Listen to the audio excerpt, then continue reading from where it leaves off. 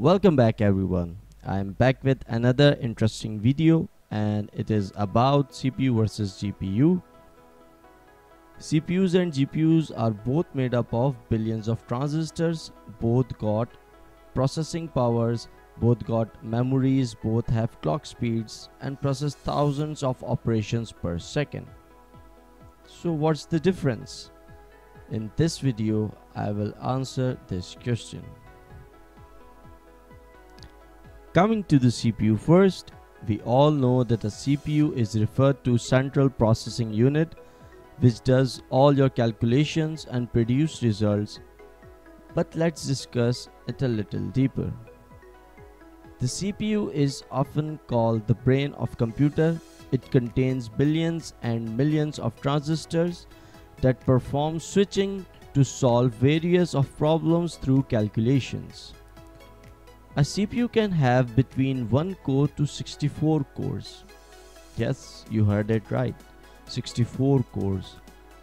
A single chip can have a 64 cores because recently AMD has launched its 7 nanometer Rome series of EPYC server CPUs with up to 64 core highest core count in any single processor chip ever. A standard CPU have cores clocked at 1 GHz to 5 GHz. A CPU is powerful because it contains multiple cores with large arithmetic logic units and control units which works on a large instruction set and can perform variety of operations of different types simultaneously. CPU is programmed by programmers by broad instruction sets and long feature list shared by all CPU manufacturers, thus making it a general purpose processing chip. CPU's architecture is basically designed to be a general purpose systems brain. Processors or even multi-core processors works on a single process at a time and switch between processes to create a parallel working illusion.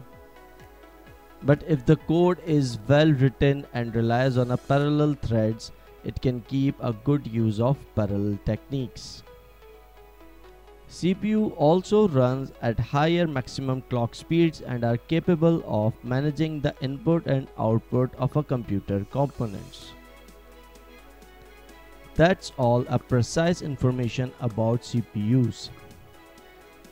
Now keeping them in mind and let's move towards the GPU part. Coming to the GPUs, I have already made a video explaining GPUs click on the link above to watch it. It's better to watch that video first and then watch this video further. Okay, so let's discuss GPUs more. A GPU is a specialized type of microprocessor.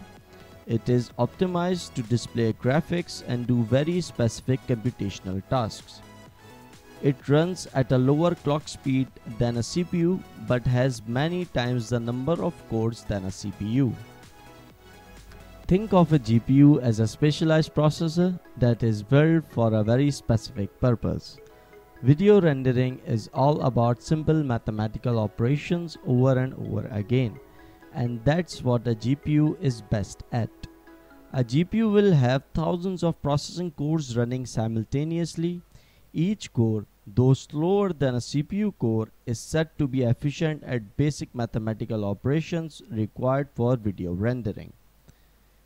This massive parallelism is what makes CPUs capable of rendering the complex 3D graphics required by modern games.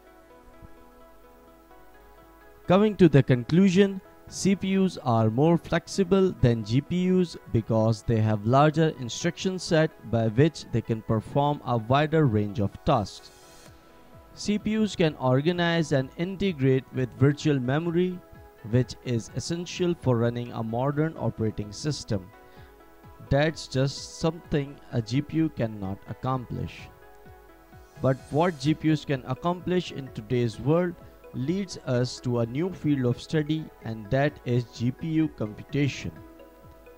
But that's a topic for an upcoming video. Ending my video by a statement that CPUs and GPUs have similar purposes but are optimized for different computing tasks. An efficient computer will need both to run. Well, that's all for today. I hope you liked the video and if you did, smash the like button and don't forget to subscribe.